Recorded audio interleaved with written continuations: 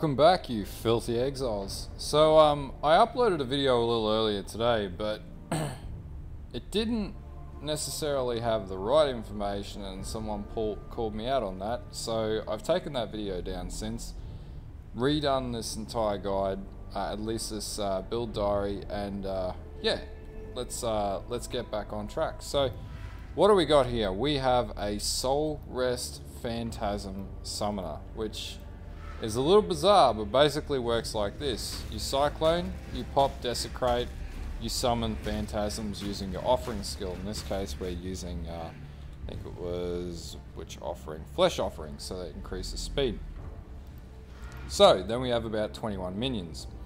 So, pretty much the, I, I guess that's the base mechanic, but there's a little bit more to this. So basically, Phantasm summoning only works because of this particular staff called the Soul Rest Ezomyte staff. What it basically does is it has trigger level 20 Phantasm skill when you consume a corpse. Now, you don't need to link this staff up, but basically you're going to be running Elemental Focus, Predator, Summon Phantasm obviously, Minion Damage, Controlled Destruction, and in this case I run lesser projectiles. You can run slower projectiles, but I found lesser projectiles being much better for mapping. That's just part of this. So the next part is, and you can see I've got a crap chest piece. In your chest piece, you're going to run Flesh Offering, you're going to run Desecrate, you're going to run Infused Channeling, you're going to run Cyclone, and you're going to run Cast While Channeling. So when you cast and channel, you're, you're popping Desecrate as your Cyclone goes off, and then at the same time you're uh, summoning your phantasms because your offerings popping because you can your offerings popping because you're consuming corpses and then the consuming corpses then feeds into the staff and does what it's supposed to do which is summon phantasms.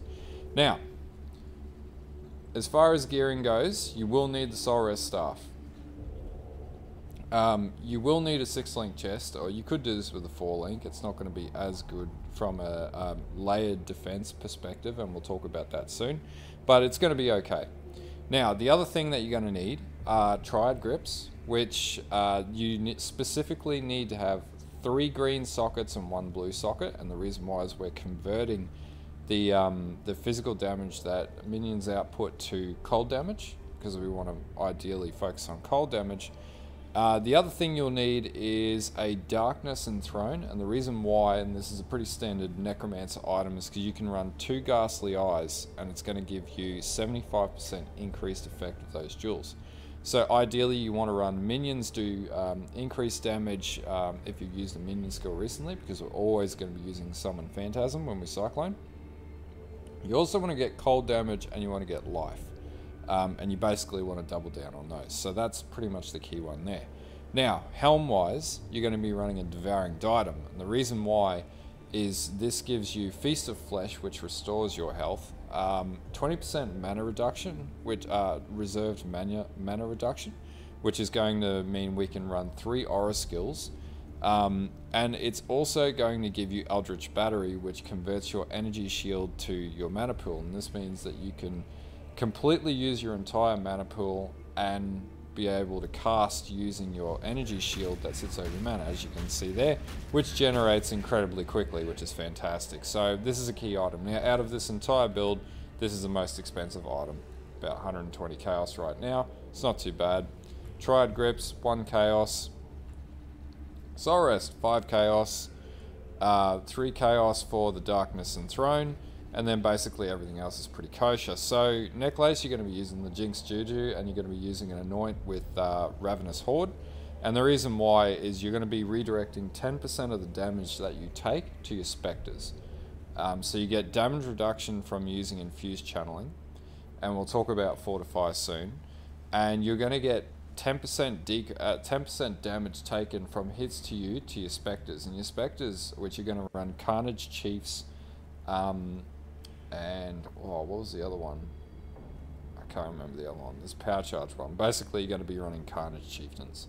Um, and the reason why is Carnage Chieftains generate frenzy charges, which speeds you up, and it speeds your minions up as well. So the Jinx Juju is actually one of the key items in this build. Now, for a boots, from the boots perspective, you don't really need anything special or resist life. I will eventually get um, uh, Flight of the Avian, um, and then I basically run that aura from the boots, and I'll drop off one of the auras in my helm. But for now, I'm not going to do that. Uh, and then you'll have your six uh, six socket chest piece. That's pretty much all there is for gearing. It's quite straightforward. So the most expensive item is the Devouring Diadem. You don't necessarily need it to start with, but you'll only be able to run two auras instead of three with that. Now, gem setups. Um, so main setup for Summon Phantasms is obviously your Summon Phantasms, minion damage, Predator, so you can target, uh, Elemental Focus, Controlled Destruction, lesser multiple projectiles. As you were seeing in the B-roll, does really good clear speed. Uh, your helm, you're going to be running Zealotry, Hatred, Summon Skitterbots, and uh, Generosity, so you can further buff your minions up so they do way more damage. In your chest, you're going to be running Flesh Offering. Uh, in my case, I run Life Gain on hit, and that's and we'll get to that reason why. Um, Desecrate, uh, Infused Channeling, Cyclone, and Cast While Channel Support, so you can channel everything. Now, the rings I've got, I'm actually using unset rings, and that is actually a thing in this build because we need to fit Flame Dash and Convocation in somewhere, and we don't have enough gem setups. You'll also note that if you're looking at the POB, there's no cast damage taken. This can do Sirus deathless without cast with damage taken, which is unbelievable. That's the amount of damage reduction that this build actually gives you. Um, you don't need a, a guard skill, which is fantastic. Uh, if you if you could fit one in, bloody hell, you'd be unkillable to the max. It still dies from time to time, but I'm having no issues with T16 maps and everything with this. So, in your uh, in your um, gloves, you're going to be running Summon Ice Golem because we want that crit and accuracy. Uh, Culling Strike, so you proc Culling Strike with your Ice Golem. Uh, you're going to be running Sniper's Mark, that's just to fit that into the gloves, because uh, you're going to tag Signal Prey and Sniper's Mark on enemies when you come near them. Uh, so I've got that mapped to my Q and W. And then Feeding Frenzy support, because the Ice Golem's going to have a higher chance of survivability than any other minion, and it's relatively easy to resummon, unlike Spectres and the Animate Guardian that we're going to be using. So, in our boots, we're going to be using Ray Spectre. We're also going to be using a Minion Life Gem. Basically want these guys to get up to close to 100, as close to 100k as you can. The biggie, which is fantastic in this build, is the Animate Guardian. And basically we're buffing the Animate Guardian, and I'll put each one of these images on, um, on the screen. Uh, with a uh, Leer Cast Helm, which gives your, you and your nearby enemies 15% increased damage. In this case, we're running a Kingmaker on my Animate Guardian because it's going to give your enemies Culling Strike, increased critical uh, damage multiplier, and it's also going to give you increased rarity. And all, as you can see, I don't need to run Fortify in my setup because the Kingmaker gives me Fortify off the bat. Now, once you cast this and you pick it up with your Animate Guardian, that's it. You're going to lose 50 Chaos and you're going to have to go buy another Kingmaker if you want another one. But that's entirely up to you. That's the investment you make. If I decouple these boots, I'm not entirely sure if the Animate Guardian will be permanently gone and I'll need to buy another 50 Chaos Kingmaker. But the Leer Cast is relatively cheap. The other thing that you'll notice is I have Victario's Flight. That's also because my Animate Guardian has given me Victario's Flight, which increases your uh, movement speed as well. Uh, and damage taken, uh, well, that only applies to the um, to the minion, so you get an increased 10% movement speed. Uh, in the case of this one too, I'm also running an Ambu's Charge just for survivability of my um, my Animate Guardian because you really don't want that bastard dying. Um, and if you can't afford a Kingmaker, Dying Breath is fine. And uh, I'll put an image of that up on the screen. Basically, it's going to give you and your allies 18% increased damage, uh, increased um, area of effect of aura skills and increased area, uh, effect of your auras as well. So it's a really good, um, basically, aura buffing uh, skill. Now, basically what this means is that your uh, Animate Guardian is a little aura bot um, that follows you around, which is friggin' dope in this build. But yeah, that's pretty much it for gearing. Uh, you'll see it in the POB. This isn't the comprehensive guide, but I'll go into that at a later date when I've fully fleshed it out. Now, from a uh, from a gearing perspective, relatively straightforward. No watcher's eyes or anything like that required in this build. Uh, pretty much you're going to start building um, up and you're going to skip these nodes in here. You'll go to the left uh, and you're going to move up and pick up Cruel Preparation. Now, I will eventually pick up this uh, basic socket so I can put another Ghastly Eye, but right now I don't have that. Uh, then you'll come to the left, you want to get Enduring Bond. Uh, ignore Quick Recovery because if you look down here, we are running a Fortress Covenant, which buffs our minions up by 38% DPS.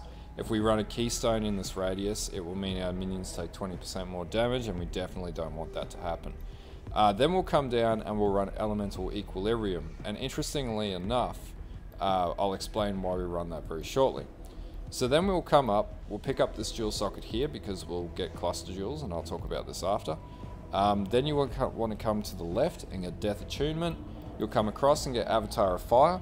Now, the reason why you want to run Avatar of Fire is basically we're converting all our damage to cold damage but at the same time, we're also reconverting that to fire damage. So when the fire damage procs, it's actually going to um, proc elemental equilibrium, which is going to give a buff to the fire damage, but then the cold damage is going to kick in, um, as in give a buff to the resistance of enemies against fire damage, but then they're going to have negative 50% resistance to the cold damage that we output, and that's basically how we're going to get around that.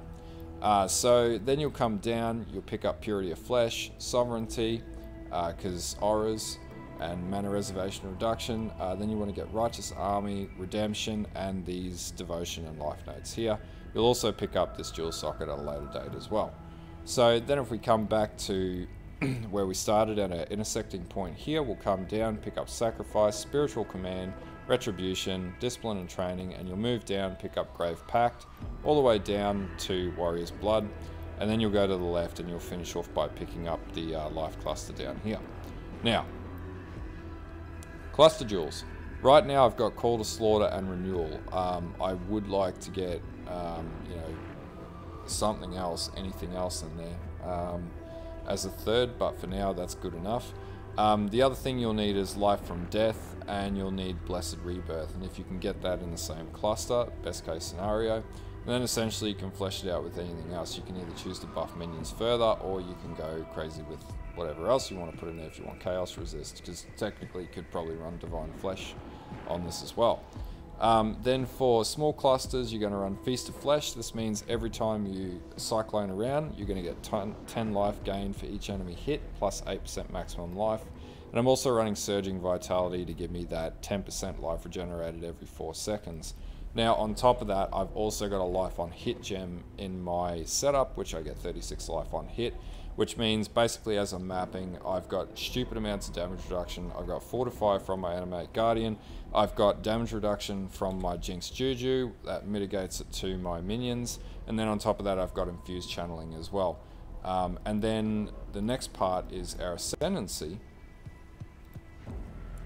so we'll get Commander of Darkness, that's going to buff our allies again, give us increased elemental resistances. So that's going to be the first one you get. You're going to get Mindless Aggression second. You're going to get Bone Barrier, so that's our other damage layer. So you're going to get physical damage reduction per minion up to 10%. We've got like 30 minions, so we're going to get 10% damage reduction there.